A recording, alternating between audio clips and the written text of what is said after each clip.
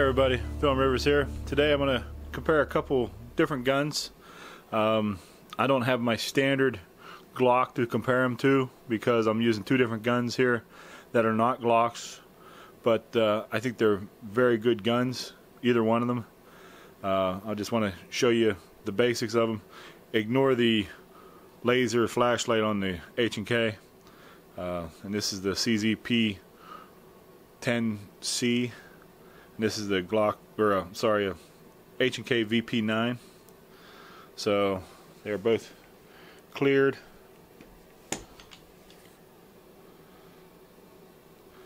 So I just wanted to go over them real quick here.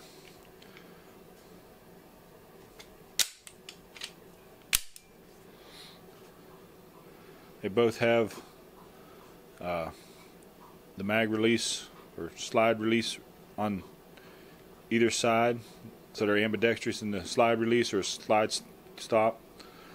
Now the mag release is the regular button style on the CZ and it's only on the left side and it's paddles on the H and K which are ambidextrous.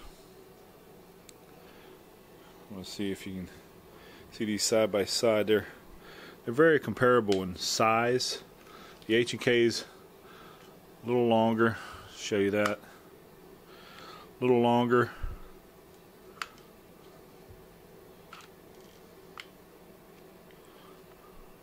But not much. Has a little bit bigger palm swell to it. Now I have on the the H&K, these are the small back straps and side panels. So it's as small as it gets. Uh, these are these are factory sights on both of them. They're both three dot sights and they both are luminescent. If you light them up, uh, it's hard to see in this light, but they will glow. This is the LE model for the H&K. And uh, we'll do some trigger pulls here in a second. Dump the mags out.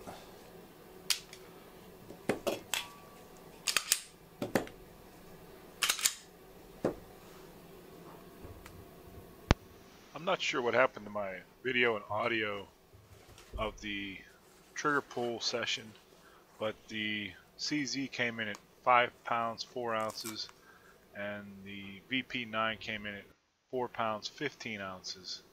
And like I said in the video that's missing here, they're both excellent guns. They're excellent choices for home defense, which is what they are for me. Uh, one's downstairs, one's upstairs gun. But they're both excellent choices for home defense and just all around all purpose gun. So I wouldn't have any problems recommending either one of these guns. So please like, share, subscribe. Until we meet again.